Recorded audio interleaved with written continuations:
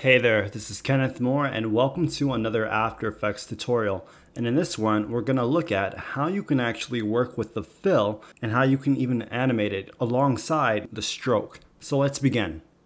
So I'm gonna go ahead and create an ellipse. So I'll press shift and create a perfect circle like this. And then I'll center my anchor point. And I'll make it a little bit bigger actually. Right about there. Good.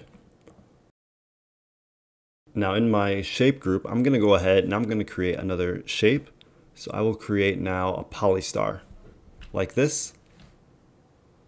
And notice under the fill, I have a few options. Now notice with this fill rule here, I have non-zero winding selected. If I change it to even odd, notice that the star fill was removed. So you can play around with that and if I bring this back to non-zero winding, the fill is back. And I also have the option to play with the reverse path here of my polystar. So when I have this selected, the fill is removed as well.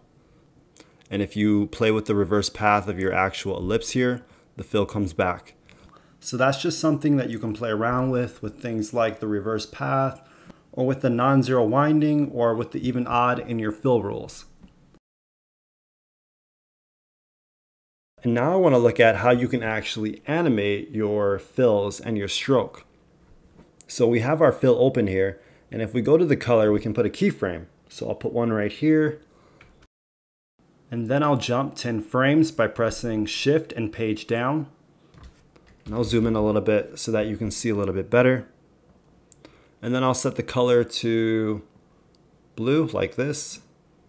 And then I'll press shift and page down again and then I'll set the color to this yellow. Shift and page down one more time. And then I'll set the color to this purple here. Good. Now notice if we play it back, what happens? Our colors are now animated. And if you want to animate the stroke colors as well, you can do that.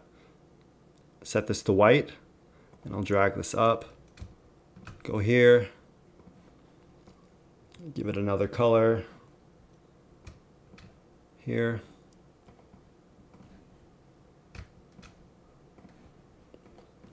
Here. So we'll play it back now. So now we have our stroke and our fill colors animated. Now what's really interesting is if you twirl down on your color here, you actually see the changes that are happening. And I'll twirl down on this one here as well. So we see here the changes from one keyframe to the next with the colors. And if you want to make these colors jump from one keyframe to the next, all you have to do is simply highlight your keyframes and then right click and select toggle hold keyframes and now the colors will actually jump. So that's how you can play with your fill and your stroke and your shape groups. Now, if you like this video and you want to receive more content like this, be sure to subscribe below and to click on the bell so that you get notifications to all of our newest videos. And we will see you in the next one. Until next time.